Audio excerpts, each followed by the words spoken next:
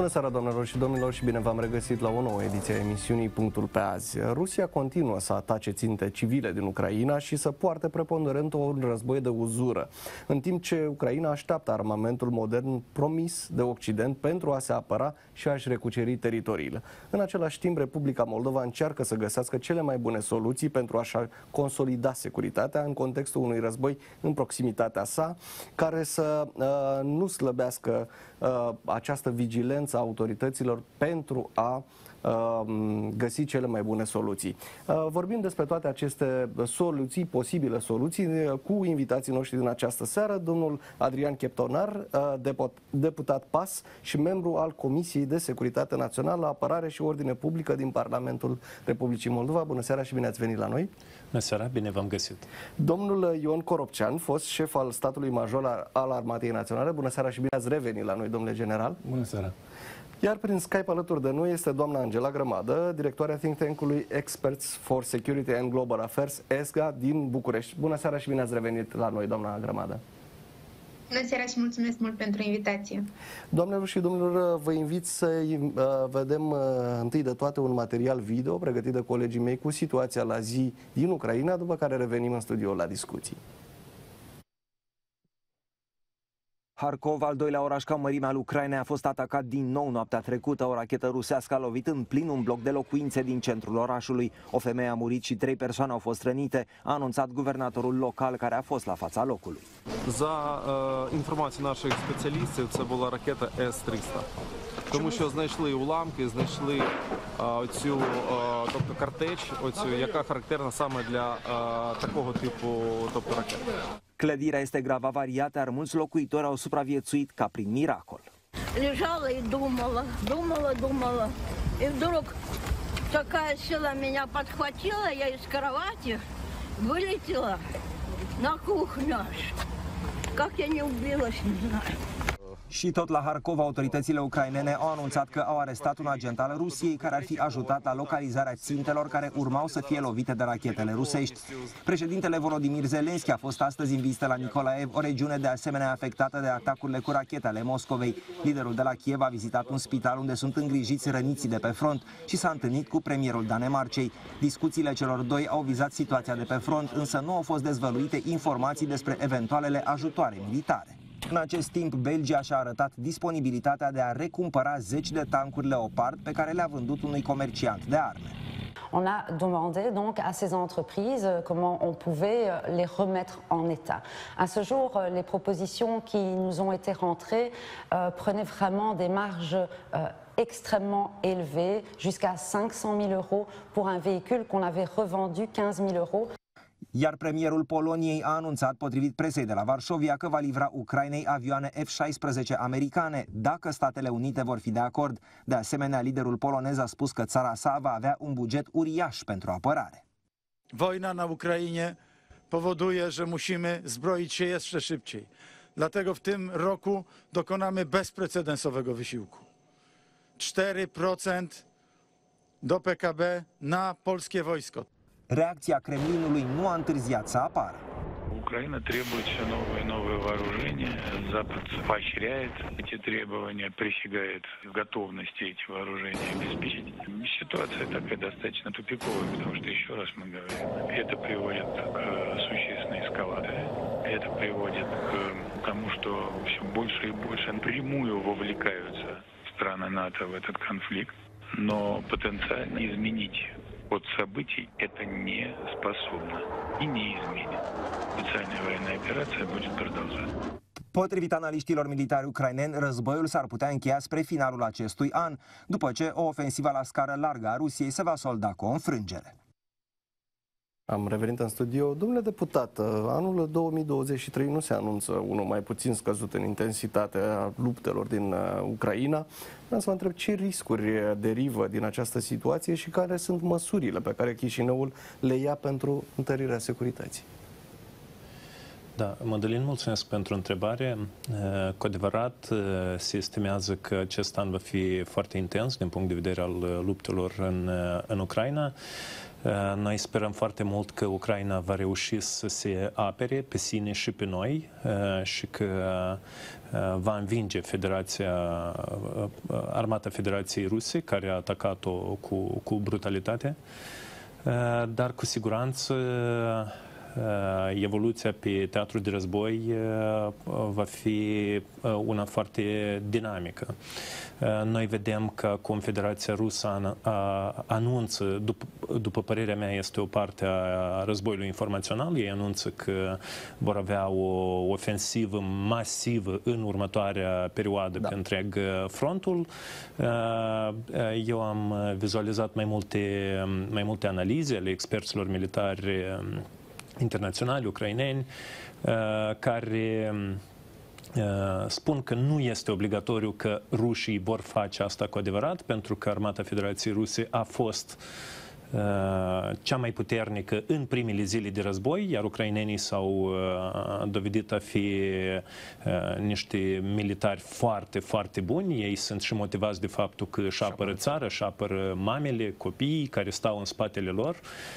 Voluntariatul în armata ucraineană este net superior ca motivare față de cel al Federației Ruse, unde bărbații fug prin, se ascund prin cotloane ca să nu fie prinși cu, cu Arcanul, deci motivația este totalmente diferită la cele două, cele două părți beligerante, iar nu trebuie să uităm că pe 24 februarie Federația Rusă avea foarte multe blindate bine pregătite, avea rezerve și stocuri enorme de obuze, de artilerie, avea unitățile de destinații specială cele mai bune da. Uh, le avea întregi, bine antrenate, bine pregătite pentru acest război, iar azi, uh, datorită rezistenței eroice a ucrainenilor, ei nu mai au aceste resurse, uh, ei acum luptă cu un corp de sergenți, de subofițeri ciopărțit, spunem, net mai mic ca număr decât a fost, decât au fost anterior. Eh, respectiv eh, soldații mobilizați, oamenii mobilizați sunt la fel demotivați, ei sunt eh, dotați destul de prost. Părerea mea este că mm, această contraofensivă sau această nouă ofensivă a armatei ruse cu siguranță va avea loc pentru că Putin nu are încotro. El, pentru, pentru Putin personal, pierderea acestui război înseamnă pierderea vieții sale fizice. Uh, niciun țar din Rusia nu a supraviețuit unei pierderi în, în război și Putin înțelege foarte bine asta. Uh, nu îi va ierta nici poporul rus și nici uh, oligarhii din prejurul său. Iar Eh, dar, eh, cum am zis, nici, nici eh, poporul, dar cu siguranță ei nu mai au capacitatea militară pe care au avut-o, pentru că au pierdut cea mai bună parte a armatei, cei mai buni soldați, cei mai buni ofițeri, foarte multă tehnică blindată, din, din câte anunț spionajul militar ucrainean, Federația Rusă a rămas cu stocuri neînsemnate de rachete Uh, pe care le, le tot folosește împotriva Ucrainei. Vedem că uh, amploarea, de, uh, numărul de rachete și frecvența cu care ei le cu care este atacă, atacată Ucraina este net inferior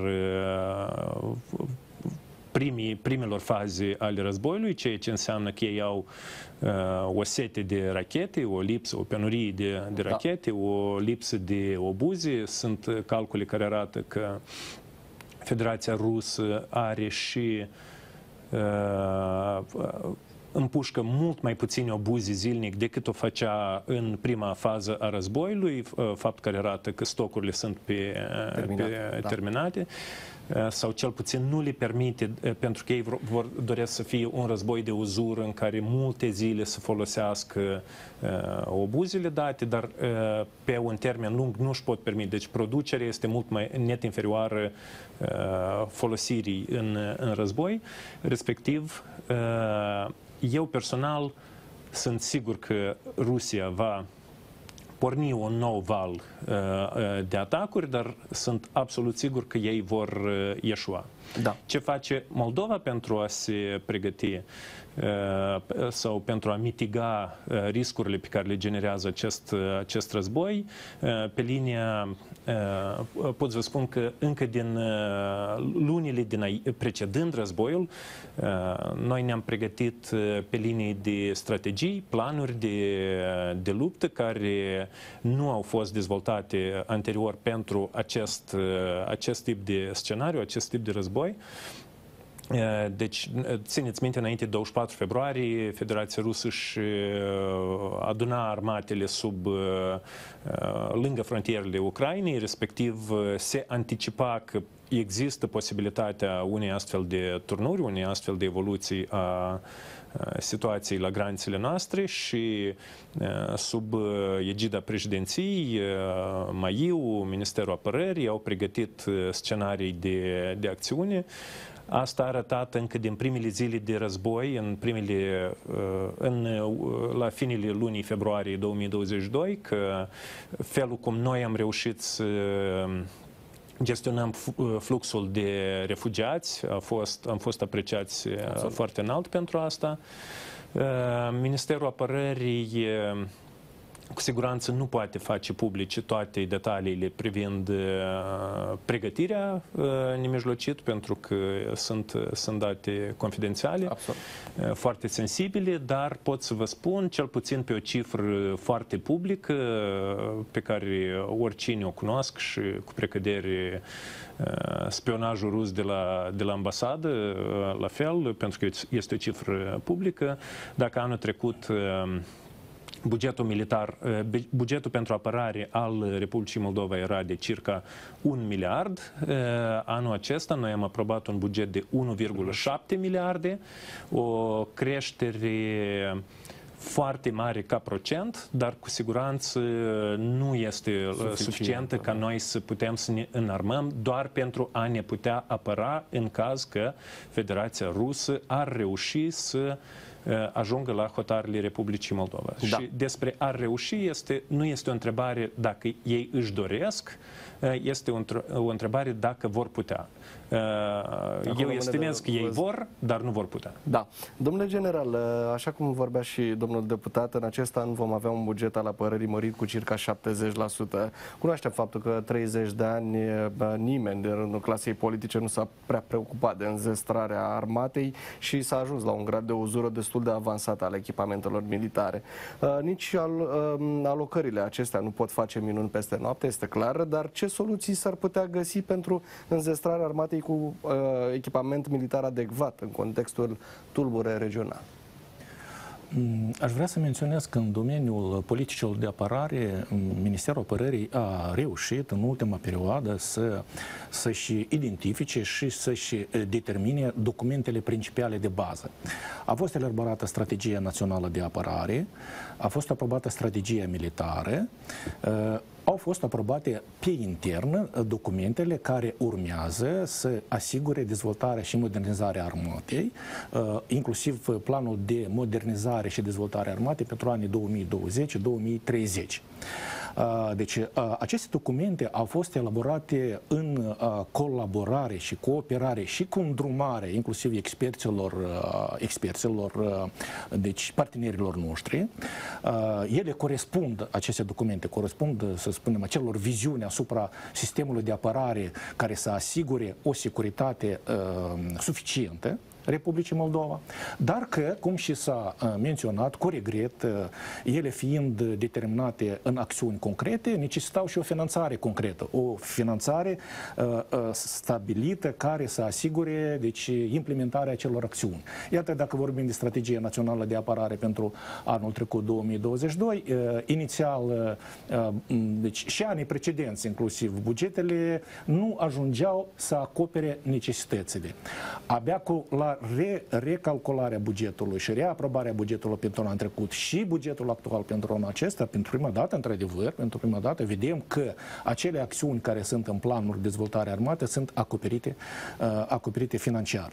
Deci Ministerul Apărării are viziuni ce trebuie să facă, când trebuie să facă și cum trebuie să facă. Pe cele dimensiuni care trebuie să uh, fie uh, pregătite uh, și după arta militară, asigurată uh, construcția uh, armatei, construcția forțelor armate. Asta trebuie să fie efectivul, asta trebuie să fie dotarea corespunzătoare cu tehnică, asta trebuie să fie corespunzător asigurarea multilaterală materială, asta trebuie să fie capitolul infrastructurii și dislocării operative a unităților în teritoriu toate viziunile acestea sunt uh, bine calculate și eu sper că, iată, această, uh, această finanțare care este de aproximativ 0,55 din produsul intern brut este un prim pas care va asigura o, o, un salt al armatei spre o nouă calitate, uh, spre o, o mai bună protecție socială a militarelor, în primul rând, spre o mai bună instruire a lor, dar spre, spre, și spre o dotare cu tehnică a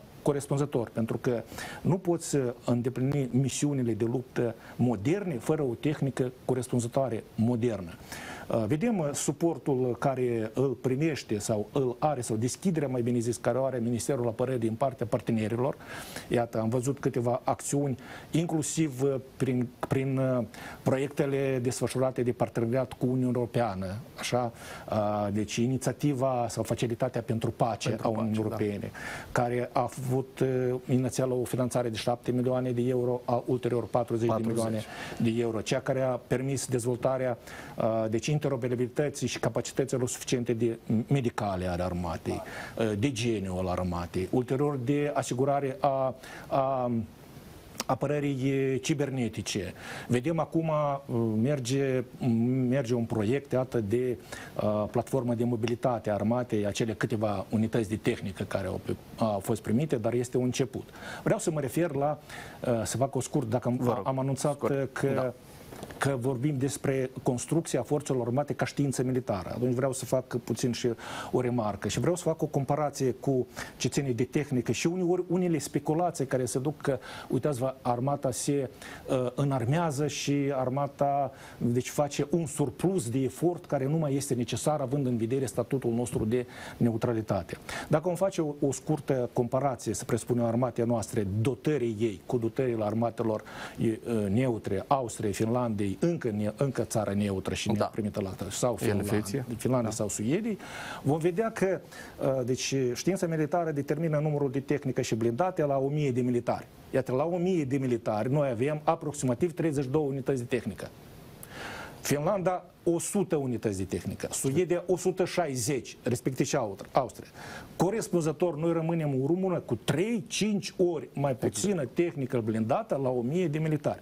Mai bine zis se poate de spus că noi avem militari mai mult, uh, mai mult uh, asigurați cu automo- pe automobile. Da, este tactica de infanterie pe automobile, dar vedem că asta este deja trecutul. Da. Nu mai poate fi acceptat. Noi trebuie să avem tehnică blindată care să asigure nu numai capacitatea de de foc necesară, dar și capacitatea de protecție. De ce eforturile de modernizare a tehnicii, inclusiv tehnicii din infanterie, sunt necesare, corespund intereselor noastre și nu contravie statutului de neutralitate. Da. Doamna Grămadă, v-aș întreba și pe dumneavoastră. Unele țări, precum Germania, așa cum a menționat și domnul general, au făcut pași pentru a ajuta Republica Moldova cu o serie de echipamente. Am văzut, au fost aduse trei uh, unități de transportare blindate Pirania. Uh, știm foarte bine că și doamna președinte, uh, Maia Sandu, a cerut recent la Davos sisteme de apărare antirachetă. Să vă trebuie, este posibil ca în viitorul apropiat Republica Moldova să mai primească astfel de echipamente și dacă diplomația de la Chișinău ar trebui să pistoneze partenerii internaționali cu astfel de cereri. Mulțumesc mult pentru, pentru invitație încă o dată și mulțumesc mult pentru întrebări. Cu siguranță autoritățile Republicii Moldova și în mod special um, diplomații ar trebui să insiste pentru că aceste parteneriate pe care ei le-au uh, tot identificat în ultimul an să producă și mai multă eficiență pentru sistemul de apărare uh, național al Republicii Moldova, fără însă a vorbi neapărat aici de integrarea Republicii Moldova într-o, într-o structură uh, colectivă defensivă, pentru că știm că aceste discuții creează și în prezent anumite animozități la nivelul elitei politice. Asta nu înseamnă că Republica Moldova nu trebuie să aibă asemenea aspirații sau că nu trebuie să uh, își consolideze pozițiile în cadrul parteneriatelor pe care deja le-a accesat în uh, diferite perioade după anul 1991. Uh, faptul că există anumite uh, demersuri deja care s-au concretizat în acțiuni uh, pe care le-ați, le-ați enumerat este foarte bine. Asta cu siguranță va supăra și mai mult Moscova, care deja susține că Republica Moldova se înarmează în detrimentul propriilor sale interese naționale, dar asta nu înseamnă că autoritățile trebuie să țină cont de aceste opinii exprimate de Moscova și să nu acționeze în în, în această direcție de a-și realiza obiective de uh, securitate națională. Doar că toată această discuție pe care ați avut-o în studio, pe mine m-au uimit anumite, anumite detalii, dacă pot să spun așa, pentru că este pentru prima dată când văd uh, o dezbatere pe un asemenea subiect în uh, note atât de pozitive și nu neapărat note pozitive în sensul de a elogia autoritățile și modul în care ele au acționat, cât note pozitive în ceea ce privește informațiile pe care le-au adus invitații dumneavoastră și anume că ar fi aprobate sau adoptate, elaborate, discutate deja uh, strategii de apărare, viziuni în care să uh, cuprindă mai multă integritate sau interconectarea unor instituții responsabile în, în domeniu. Asta bucură pe de o parte, dar pe de altă parte să nu supraapreciem poate atât de, de mult ceea ce s-a făcut până în prezent, pentru că mai există foarte multe lucruri de, de, de realizat în această direcție. E de apreciat și faptul că s-a alocat un buget mai mare pentru sistemul de apărare național al Republicii Moldova, totuși acesta este insuficient pentru a răspunde tuturor necesităților și nevoilor uh, Ministerului Apărării, dar și Siguranței Naționale a Republicii Moldova. De asemenea, mi se pare prea multă exagerare a acestei nici nu știu cum să, să spun ca să nu supăr pe nimeni, Uh, eu doar vreau să vă reamintesc modul în care comunicau autoritățile publice în perioada martie-aprilie, când nu prea știam căror instituții să le atragem atenția, cine era comunicatorul principal, care erau procedurile pe care trebuiau să le implementeze anumite instituții responsabile cu securitatea națională.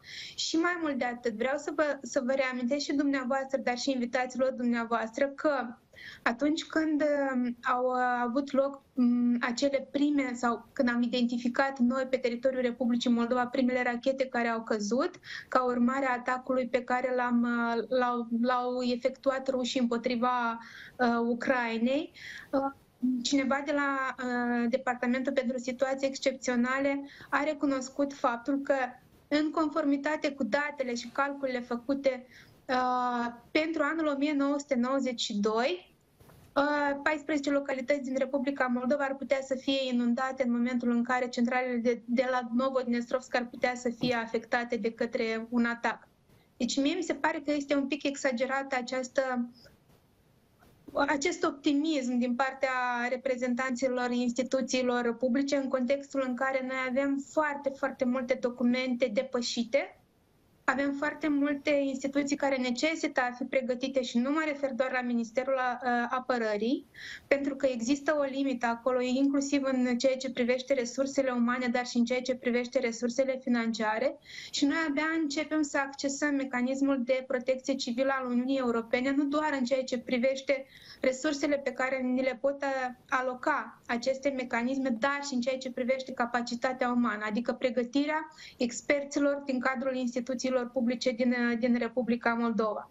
Deci, dacă nu ar exista asemenea demersuri diplomatice, dacă nu ar exista și interesul partenerilor noștri externi de a întări capacitatea de reziliență și de acțiune a Republicii Moldova, eu cred că acest optimism uh, ar putea fi apreciat de majoritatea cetățenilor Republicii Moldova ca fiind unul exagerat în momentul, în momentul de față. Și da, uh, este într-adevăr uh, un lucru bun că Ucraina există, dar în același timp trebuie să avem uh, o cumpătare mult mai mare în ceea ce privește discursul public și a modului în care încercăm să comunicăm realizările noastre către cetățeni. Da, foarte interesantă. Domn, domnule deputat, ce ar trebui să cuprindă viziunea în viziunea dumneavoastră noua strategie națională de apărare a Republicii Moldova, un document la care știm că se lucrează intens și ar trebui elaborat, cred că, în această primăvară?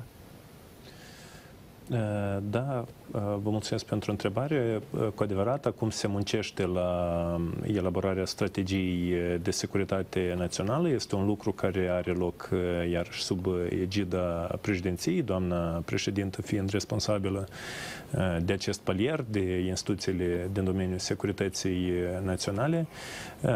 Cu siguranță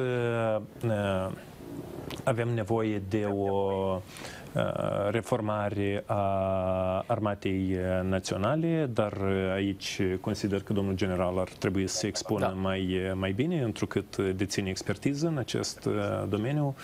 Uh, cu siguranță este necesar să ne, să ne înarmăm, să putem să ne apărăm. Domnul general a vorbit despre Finlanda, Suedia. Eu aș spune și exemplul Elveției, care este o țară neutră, dar extrem de bine înarmată și tocmai pentru că are în dotare armament și se poate proteja de una singură de orice riscuri la adresa propriei securități naționale, îi permite să fie neutră. La noi, din păcate, până acum, politicienii care au condus Republica Moldova până la accederea PAS la guvernare au considerat că să fii neutru înseamnă să nu ai nici măcar o piatră într-o praștie ca să te poți apăra de orice fel de atac. Practic, eu, eu aș putea spune că foarte mulți ani parcă am fi fost guvernați de către Moscova, nu de către politicieni ai stataliști ai Republicii Moldova, oameni care obișnuiesc să rupă cămașa de pe ei și spună că noi suntem stataliști și neutraleitiști și pentru care înseamnă să vând migurile armatei, lucru care a fost făcut zeci de ani în urmă. Poate a fost o decizie oportună la momentul ăla, dat fiind sărăcia și faptul că nu se putea permite zborul, dar, dar oricum politicienii de până acum au vândut uh, și au uh, distrus prestigiul armatei. Deci astăzi, uh, cu regret, uh, nu este prestigios să fii militar, pe când uh, în uh, istorie, în foarte multe țări, în zona europeană, era un prestigiu să fii ofițer, era un prestigiu să îți aperi țara. Uh, și respectiv uh, noi avem nevoie să dotăm mai bine armata, fapt cu care și uh, se ocupă. Acum doamna președintă, domnul ministru Năsată, iar noi ca Parlament am susținut un buget, creșterea bugetului pentru Armata Națională. Acum, pe domeniul contrainformației avem nevoie foarte mult să fortificăm serviciul de informații și securitate. În Parlament am muncim acum ca să adoptăm un pachet de în legi. scurt timp un pachet da. de legi pentru în acest sens oferim să dezlegăm mâinile serviciului care apără țara de spionaj străin și pot să vă spun că la momentul dat Moldova colcăi de spioni, spioni ruși, îndeosebi în clasa politică care a condus Republica Moldova până acum și asta este foarte clar din acțiunile pe care le-au întreprins. La fel pe domeniul, de, pe domeniul MAI este nevoie de, de a fortifica și această instituție, de a crește prestigiul, la fel și munca de poliție. Pot spun că și-a, la un moment dat am putea spune că și-a diminuat din prestigiu și avem unde crește. Este nevoie să creștem salariile în aceste domenii.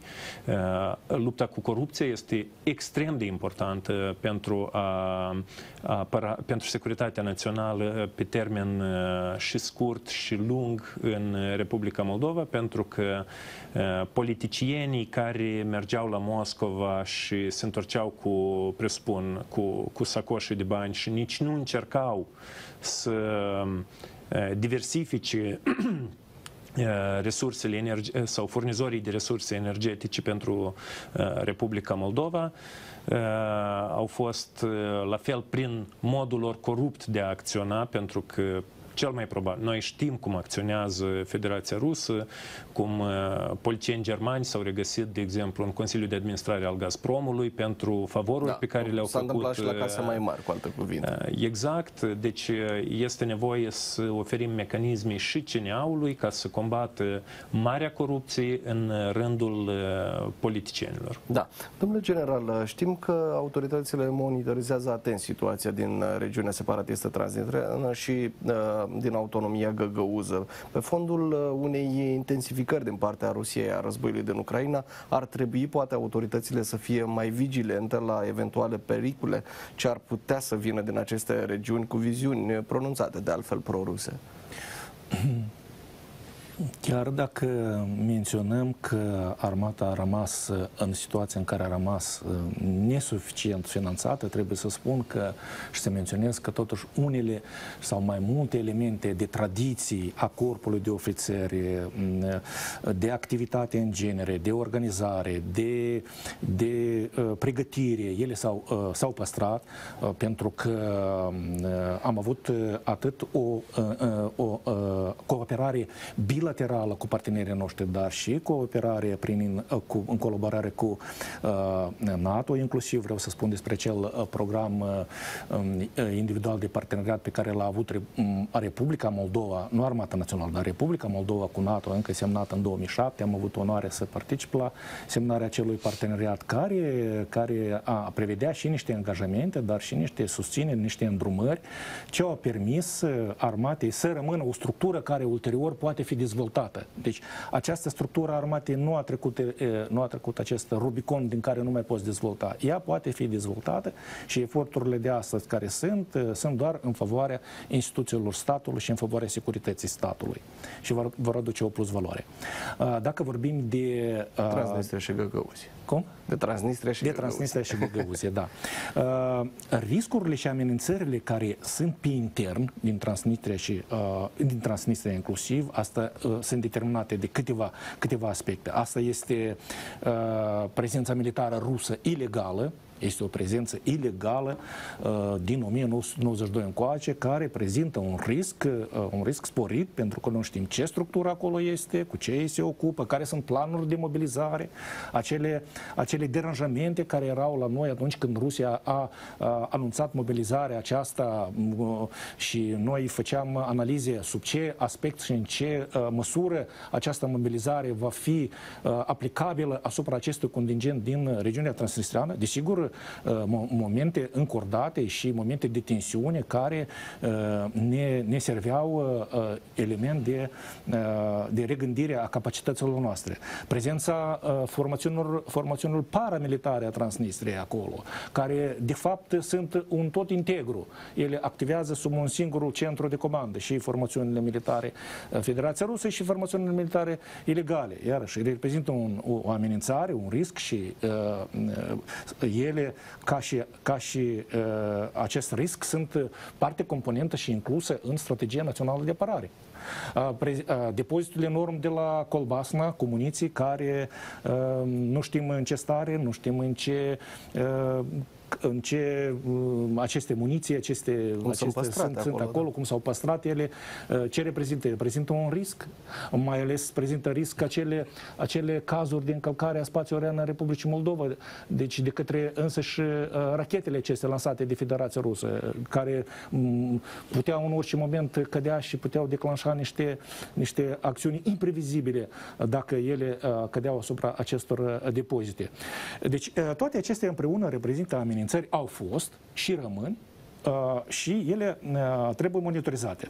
Doar că vreau să menționez că ceea ce, ce, ce observ eu, efortul diplomatic, efortul politic al conducerii este, este suficient pentru că a, a spune că ele, fiind în amenințări, în amenințări, la momentul de față eu nu văd capacitatea de materializare a lor în, în niște acțiuni ce ne reduce nou, nou risc. Urmează ca structurile politice responsabile de acest domeniu și biroul de integrare corespunzător și structurile, iată, Comisia Unificată de Control, a fost recent renumit acolo președintele din partea Republicii Moldova, Comisia Unificată de Control, să asigure monitorizarea și să asigure controlul. Unele declarații pe care noi le vedem, pe care eu le-am văzut inclusiv din, ați menționat dumneavoastră Găgăuze, cu referire inclusiv la măsurile întreprinse de Republica Moldova și sub aspectul de modernizare a armatei, ca, ca element cum se văd de acolo de câte unii reprezentanți politici ca element uh, care poate declanșa uh, deci, o instabilitate în țară. Eu le apreciez mai mult ca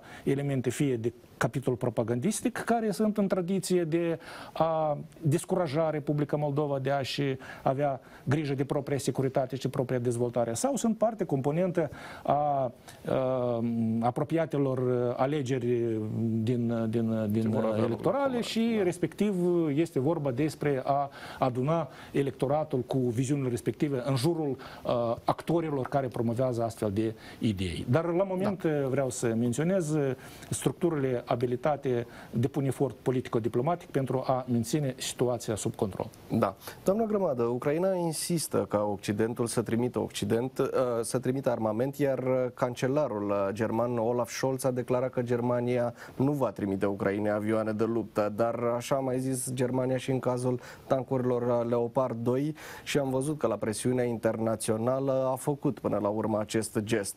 Care ar putea fi strategia Germaniei și cum se explică reticența Franța în a oferi armament Ucrainei? Bine, în cazul Germaniei există și acest trecut sau experiență istorică pe care a avut-o în cele două războaie mondiale și cu siguranță unul dintre, dintre argumentele autorităților de, din această țară este de a nu fi parte uh, a, unei, a unui conflict sau a unui război care, care ar putea să escaladeze inclusiv cu, cu ajutorul asistenței militare pe care o poate furniza această țară. Cu siguranță, în cazul Germaniei, decizia a fost una mai mult politică decât de securitate națională, de a acorda acest sprijin Ucrainei și de a lua acea decizie în privința Uh, tancurilor uh, Leopard. Cu toate acestea, cred că este important să atragem atenția unor opinii care vin din domeniul uh, militar și care susțin că Germania ar putea să întârzie destul de mult trimiterea sau livrarea tancurilor promise către, către Ucraina. Mai mult de atât, am văzut astăzi o declarație a viceministrului afacerilor externe al Ucrainei, domnul Melnik, care a spus că în următoarele luni în Ucraina ar putea să ajungă abia 100 de tancuri de care uh, militarii ucraineni au disperată nevoie pe, pe front, uh, ceea ce ar putea să uh, prejudicieze modul în care aceștia își gândesc inclusiv strategia de, de apărare în contextul acestui război purtat de Rusia împotriva, împotriva Ucrainei.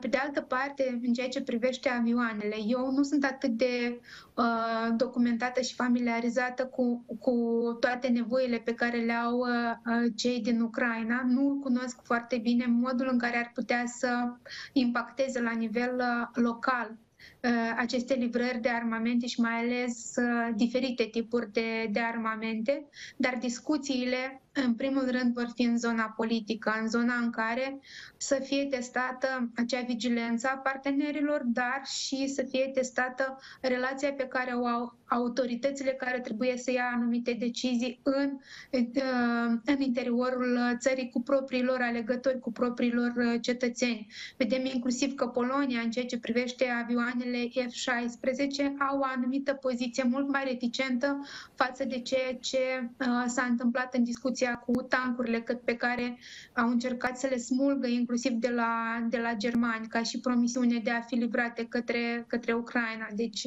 deciziile sunt destul de anevoioase, sunt destul de dificile și dincolo de, de ceea ce vedem noi în presă sau ceea ce ajunge în spațiul uh, public, ele sunt mult mai complicate, ele vin cu o doză de responsabilitate este mult mai mare decât ne-am, ne-am imaginat noi și uh, chiar dacă poate nu neapărat noi, în calitate de țară vecină a Ucrainei, încercăm să, să monitorizăm, dar statele care într-adevăr sunt implicate în acest dialog pe care l-au cu autoritățile ucrainene.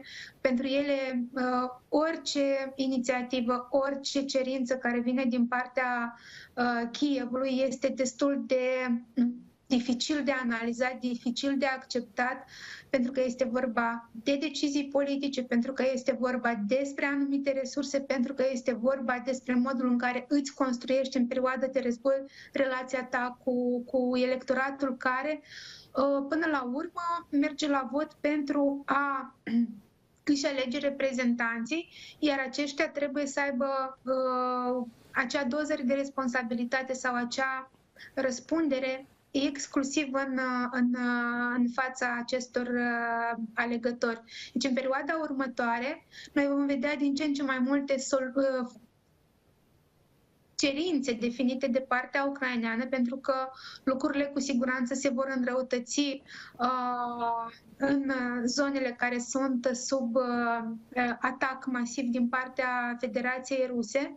Uh, chiar dacă aceasta uh, poate să sufere anumite înfrângeri în, uh, în teren. Pe de altă parte, din punct de vedere numeric, din punct de vedere al mobilizării care se efectuează în prezent în Federația Rusă, ea este totuși net superioară părții ucrainene cu toată acea dorință a ucrainenilor de, de a lupta împotriva acestei, acestei agresiuni. Deci, discuțiile vor fi foarte și foarte dificile Uh, discuțiile se vor duce în zona politică mai mult decât în zona de securitate, pentru că deși există înțelegerea contextului de securitate regională, uh, decidenții vor reieși din acel context intern generat de relația pe care o au cu propriilor uh, cetățeni și abia apoi vor reveni asupra coeziunii uh, pe care o vor arăta față de Ucraina și față de această agresiune rusă împotriva Ucrainei pentru a livra sau pentru a lua decizii de a livra și în continuare muniții pentru ca ucrainenii să, să reziste. Da. Uh, domnule deputat, un raport al Comisiei Europene care urmează a fi dat publicității la finele acestei luni, dar la care o parte din presă și experți au avut deja acces, constată că Republica Moldova nu s-a aliniat complet sancțiunilor împotriva Rusiei și Belarusului și acest uh, lucru s-ar fi produs doar în proporție de 60-80%.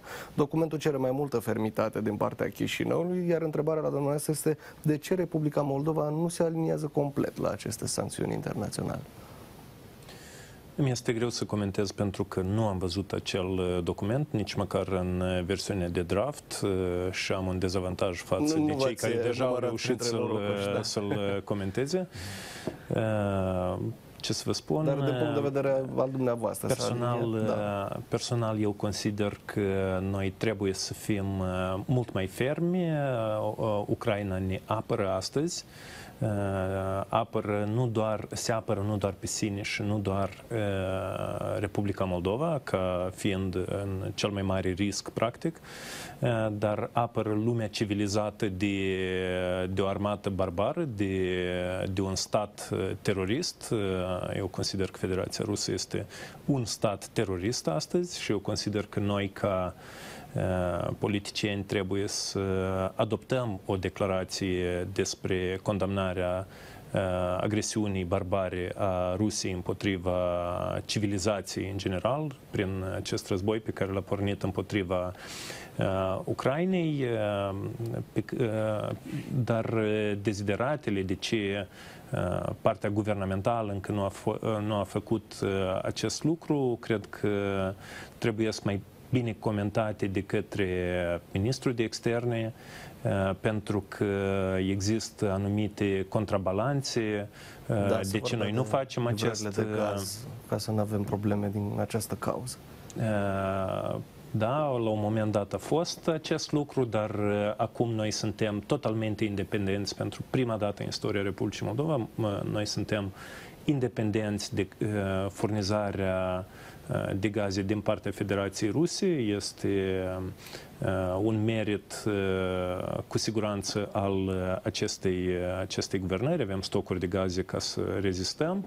Dar nu și pe partea de energie electrică, acest, pentru că știm da, că este acest e, deal. E, da. Este adevărat, dar știți, eu am spus lucrul ăsta, am făcut această interpretare odată în, în Parlament și nu mă tem să o spun și aici, pentru că este ceea în ce, în ce eu cred, imaginați-vă că astăzi, în acest context care nu ar fi fost diferit dacă în Republica Moldova nu exista o anumită evoluție acum un an jumate, mă refer la faptul că Uh, până în prezent, practic până în februarie ar fi fost mandatul vechiului Parlament, uh, da. dacă nu era dizolvarea, nu era acea Alegeri uh, luptă politică, da. acele alegeri anticipate, când PAS a preluat guvernarea. Imaginați-vă că astăzi în Republica Moldova ar fi fost la conducere partidele, partidele pro-rusi, deci practic agentura Federației Rusii, pentru că ei cu siguranță, nu toți, dar ei care conduc sunt agenți cu recipis semnat cu pseudonim și Cel ofițeri care îi conduc. Ne spun și, jurnaliști de la RAIS care au făcut exact, acea anchetă. Deci exact, și sunt foarte credibili și am toate certitudini certitudinea că așa este. Deci imaginați-vă că acest, acel guvern condus de spioni ruși ar fi condus Republica Moldova astăzi. Am, am spus asta în Parlament. Uh, ei ar fi dat, guvernul uh, respectiv, ipotetic, ar fi permis rușilor să uh, aterizeze pe aeroportul din, din Chișinău pentru desant care să atace Ucraina și din această parte. Armata staționată în Transnistria este destul de slabă pentru a ataca Ucraina. Ucraina este o forță destul de, de serioasă. Ucrainenii ar fi rezistat pentru că i-am văzut nu, acest singur um, factor nu ar fi schimbat mersul războiului, dar...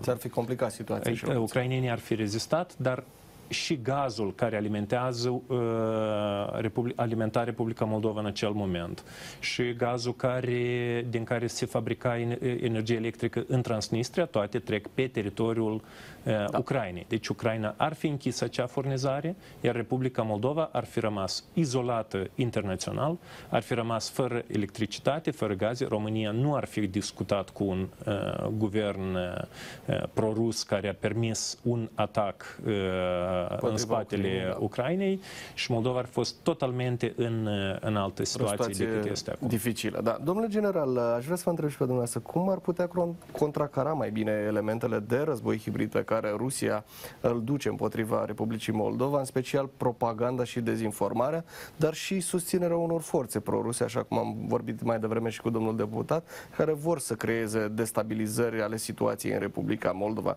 Cât de mare este pericolul unor astfel de manifestări ale unor acțiuni ostile ale Rusiei pe teritoriul Republicii Moldova? De fapt, Republica Moldova s-a aflat într-un război hibrid uh, uh, odată cu declanșarea independenței. Deci dacă în 1992 s-a terminat faza militară a conflictului de pe Nistru, atunci nu s-a terminat și alte elemente a războiului, deci cel politic, cel economic, cel energetic, despre care s-a vorbit și sunt diferite forme în diferite perioade și embargouri am avut și stopări de gaz am avut și, și așa mai departe. Deci pentru Republica Moldova nu este o noutate războiul hibrid. E, altă, e alt aspect cum instituțiile statului s-au pregătit, cum instituțiile statului s-au adaptat și ce măsuri au îndeplinit. Și aici eu cred că, iarăși, diversificarea acțiunilor trebuie să fie concret pe acele aspecte Uh, cărora uh, suntem uh, supuși. Deci e pozitiv, desigur, diversificarea energetică, e pozitiv, desigur, diversificarea dezvoltării economice și a pieței de desfacere, dar și mai mult înseamnă dezvoltarea culturii de securitate la cetățenii noștri ca să fie capabil să înțeleagă informația, să fie capabil să selecteze informația din mai multe surse, să fie capabil să ia corespunzător poziția nu doar cea care o, o, o, îi, îi transmite cineva, dar o, o analizează multilateral. Da. Asta, asta este un lucru nu simplu, Asta este un lucru nu simplu, dar mm, spre asta, altă cale nu este decât aceasta și eu uh, cred că inclusiv prin efortul uh, organizațiilor neguvernamentale, iată, este, sunt formate mai multe structuri care asigură această informare. Personal am participat la diferite conferințe, la diferite mese rotunde, um, la diferite dezbateri publice, în care se, uh, se aduce la cunoștință ce înseamnă dezinformarea, care sunt elementele dezinformării și care sunt uh, noțiunile false sau uh, acele, uh, acele informații false. false care au menirea de a ne descuraja, de a ne dezorienta, de a ne uh, pierde încrederea în propriile puteri, în propria guvernare, în propria capacitate a statului nostru de a se dezvolta, de a se dezvolta democratic uh, pe propria cale da. de care noi ne dorim, uh, da. calea dezvoltării europene. Doamna Grămadă, pentru că mai avem doar, cred că două minuțele, v-aș întreba repede dacă Republica Moldova ar trebui să se urce în același tren uh, al aderării europene cu Ucraina, ținând cont că premierul Șmig al, al Ucrainei a spus astăzi că se gândește la un orizont de timp de 2 ani, iar astăzi am văzut tot un interviu interesant al ambasadorului UE la Chișinău, care dânsul a spus că nu trebuie să, fugă, să fie o fugă rapidă, ci un maraton mai degrabă. Cum vedeți dumneavoastră aceste lucruri? Eu cred că momentul în care s-a vorbit despre același trend deja a trecut, pentru că avem situații diferite în Ucraina și în Republica Moldova. Spre deosebire de Ucraina, Republica Moldova încă și sper să nu se întâmple acest lucru, nu poartă un, un război cu, cu Federația Rusă. În al doilea rând, există situații diferite interne în ceea ce privește modalitatea de implementare a politicilor și recomandărilor uh, uh, pe care le-a Um, formulat Uniunea Europeană pentru Republica Moldova. Deci aceste realități diferite arată și o viteză diferită în ceea ce privește deschiderea sau posibilitatea deschiderii capitolelor de, de negociere a acordului de, de aderare al Republicii Moldova la, la Uniunea Europeană.